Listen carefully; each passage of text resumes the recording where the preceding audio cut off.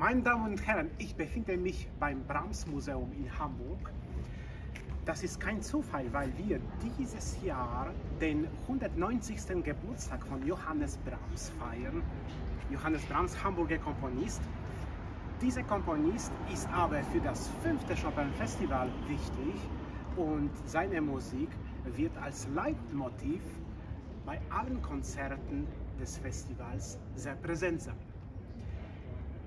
Es erwarten Sie im Rahmen des Chopin Festivals Konzerte im Museum für Kunst und Gewerbe Hamburg, im Rittermeier-Saal und das Abschlusskonzert in der Elbphilharmonie, wo ich das Brahms Klavierquintett mit L4 Quartett spielen werde.